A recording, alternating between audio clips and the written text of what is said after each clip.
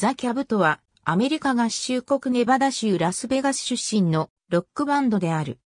R&B 等のブラックミュージックとポップパンクと絶妙なバランスで融合した次世代バンドとして若い世代を中心に高い人気を獲得している。2005年、当時高校生だったアレックス・デロン、キャッシュ・コリガンの二人が中心となり、ザ・キャブが結成された。それから2年後の2007年、地道にライブ活動を行っていた彼らにチャンスが訪れる。人気バンド、ボーイズ・ライク・ガールズのライブを見に行った際、たまたま同じ会場に来ていたパニックアットザディスコのスペンサー・スミスに出会い、自分たちのデモ音源を渡すことに成功したのである。その後スペンサーを通じ、音源がフォール・アウト・ボーイのピート・ウェンツの手に渡ると、見事彼らを気に入ってくれ、ピートの主催するディケイデンス、フュエルド・バイ・ラーメンと契約を結ぶことになった。2008年4月29日、ファーストアルバム、ウィスパー・ウォーをリリースし、ビルボードアルバムチャート最高108位を記録。それから5ヶ月後の9月に、ディケイデンスフェスティバルにて初来日公演を行っている。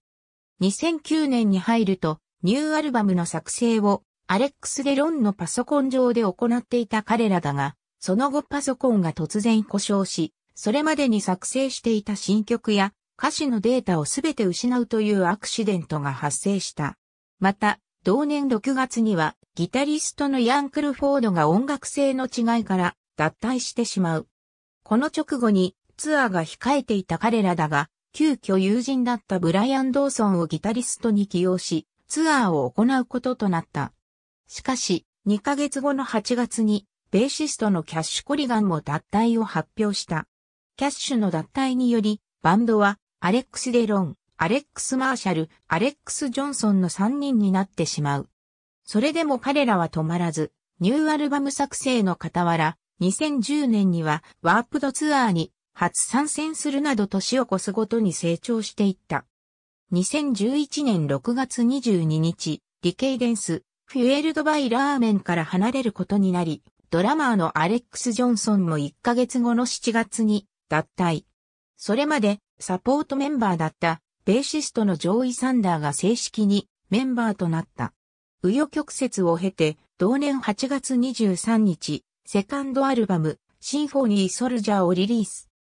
自主制作でのリリースとなったため、彼らのオフィシャルページ、iTunes、もしくはライブ会場での購入しか入手方法はなかったが、前作を上回るビルボードアルバムチャート最高62位を記録した。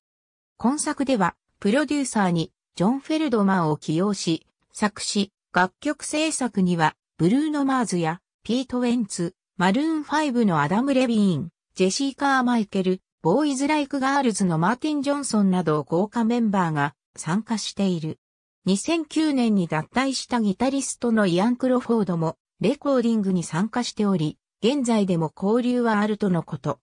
ディケイデンス、フュエルドバイラーメンを離れてから1年ほどレーベルとの契約はなかったが、2012年8月31日にユニバーサル・リパブリック・レコードとの契約を発表した。2012年9月から行われたマルーン5によるオーバーエクスポーズドアジアツアーでオープニングアクトを務めた。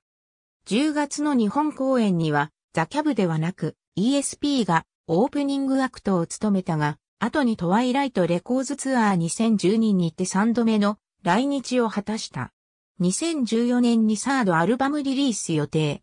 R&B やヒップホップとエモを融合させたダンサブルな楽曲が多く、メディアからはディスコエモ、ダンスエモと呼称されることが多い。メンバー自身もファーストアルバム、ウィスパーウォーについて、ポップとロックと R&B の境界線上にある作品だと語っている。ありがとうございます。